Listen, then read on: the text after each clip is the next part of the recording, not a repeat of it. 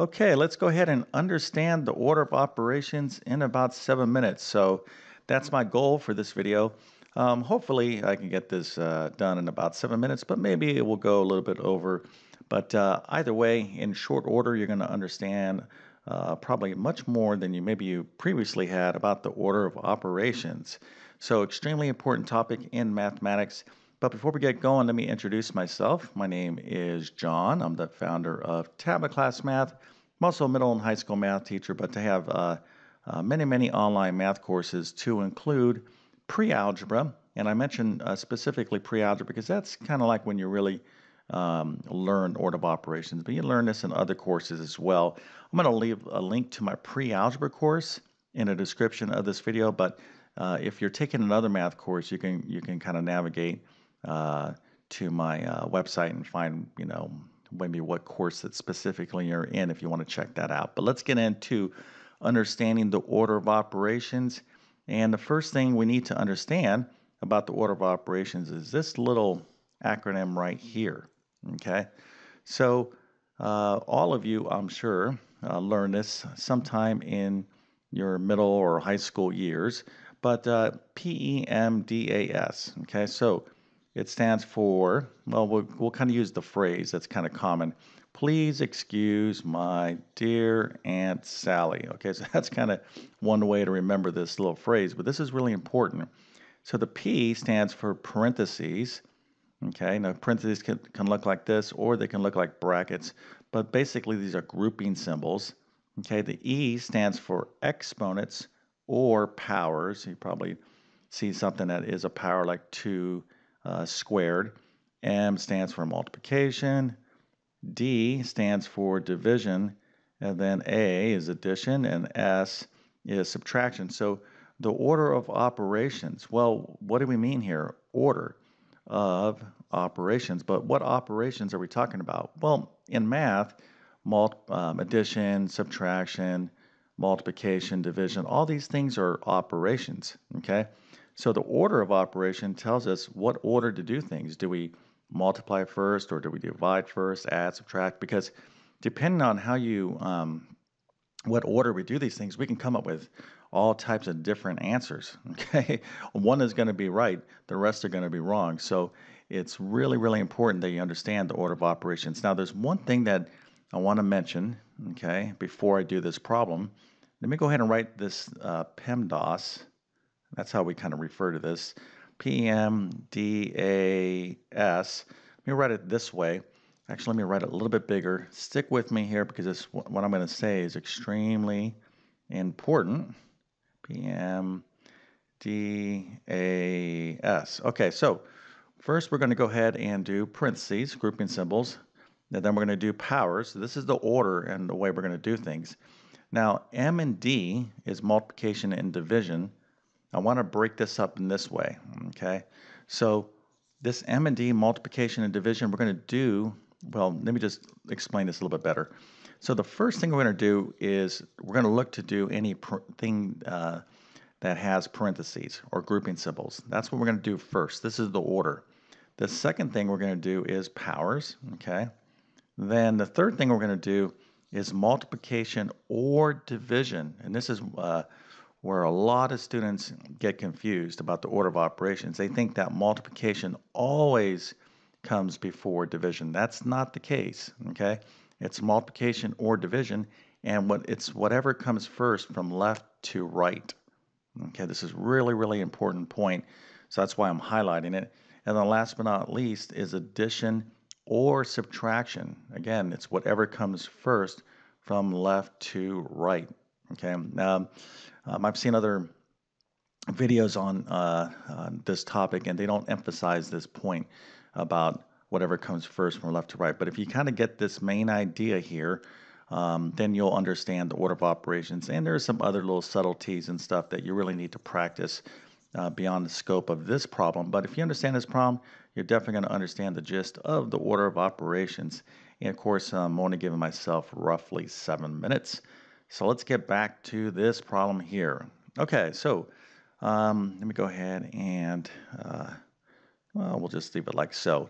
All right, so the first thing I'm going to do is my parentheses. So what I'm going to be doing is I'm going to look to see are there any parentheses, okay, or grouping symbols. Yes, there uh, there are, right? There's these guys here. Then I also have these parentheses like so.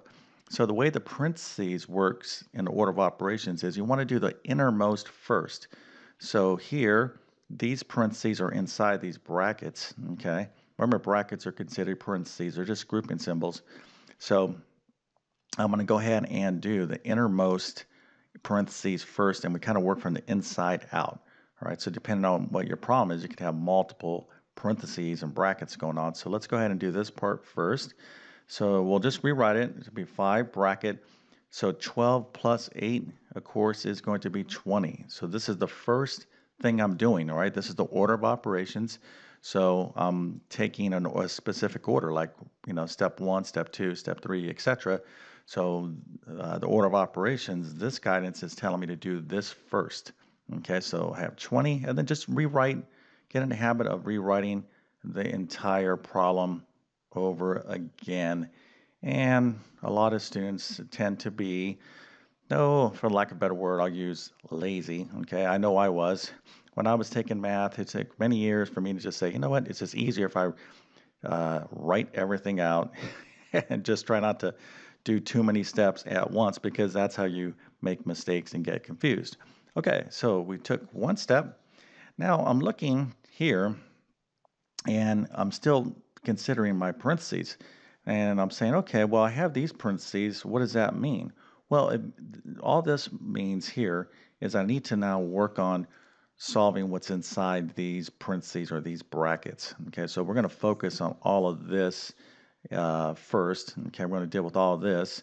And then once we simplify this down to a value, we can continue on with the rest of the problem.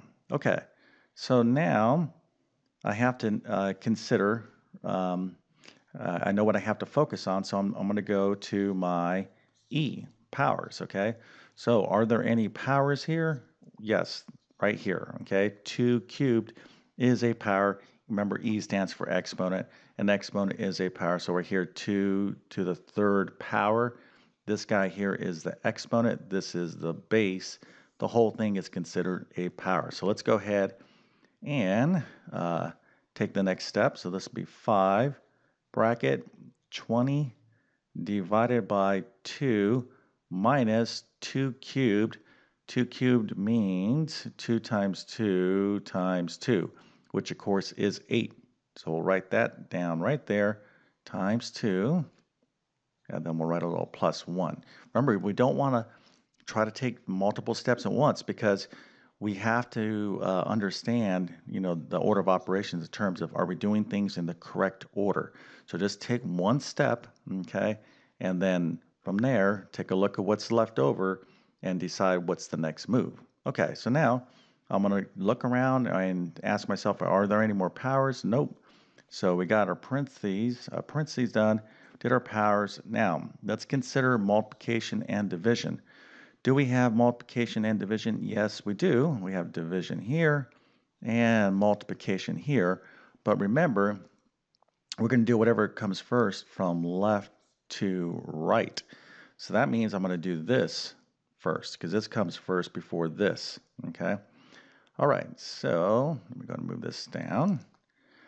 Okay. So let's go ahead and deal with 20 divided by 2. So I'll rewrite this 5 brackets or 5 bracket, excuse me, uh, 20 divided by 2, of course, is going to be 10. So 10 minus 8 times 2 bracket plus 1. All right, so I'm still here because I know I have to continue to work on everything that's inside of here. And I'm just looking around and saying, okay, do I have any more multiplication or division? And in fact, we do, right? Right here. So 8 times 2. Okay, I'm going to do that next, which of course is going to be 16. So let's go and uh, deal with that now. So this would be 5 bracket 10 minus 8 times 2, of course, is 16 bracket plus 1. Okay, so now I'm still focusing on finishing everything inside the brackets here, okay, which is the parentheses. I'm focusing here.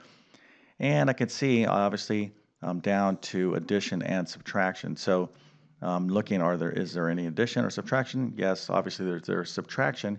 And here you have to be very careful because this is going to be a negative number. So this is going to be 5 bracket 10 minus 16 is what? Hopefully all of you out there said negative 6 and not just 6. Okay? Got to be very careful here about your positive and negative numbers. Okay, so now I'm looking inside my parentheses, my uh, grouping symbol, and there's nothing to do. Okay, in other, in other words, I finished all the math that was inside that grouping symbol. So now I could start looking for stuff outside of that, and I have this 5 next to the 6. This is multiplication. So I have multiplication here, and I have addition there. So I'm going to do the multiplication before the addition. So 5 times negative 6 is going to be negative 30. So negative 30 plus 1 Hopefully all you stellar math students out there know that this is going to be negative 29. Okay, so that is our answer. Now, I have no idea uh, where I stand in terms of minutes on this, uh, but I always try to get this around seven minutes, but I probably went a little bit over. But if you understand this problem, okay, um, you've definitely, you know, uh, probably know much more than most students know about the order of operations. Well, this is one of these classic areas, these topics where students think they know this topic better than they actually do, and they end up making many errors because they, uh, in fact, don't understand it as well as they need to. Okay, so hopefully this little, you know, uh, lesson kind of helped you out with the order of operations. Let's go ahead and finish this up. So at the time of this video, I've been on YouTube for, oh, a good 12 years. Literally have hundreds and hundreds of math videos on my channels. Hopefully consider subscribing. I'm posting new stuff all the time. If you enjoyed the video, definitely appreciate a thumbs up and leave me some feedback. How is math going for you? Do you like math? Um, you know, are you in middle school, high school, maybe college? Whatever the case is, you know, any feedback is good feedback. I'm going to leave a link to my pre-algebra course in the description of this video because um, pre-algebra is uh, one of those courses that really gets into the order of operations. It's kind of the first level course. But if you're in another course, once you go to my pre-algebra course, you can uh, check out my other courses. I literally have uh, quite a few math courses at various levels. So um, if you need another course, you can check that out. But with that, that being said, I definitely wish you all the best and have a great day.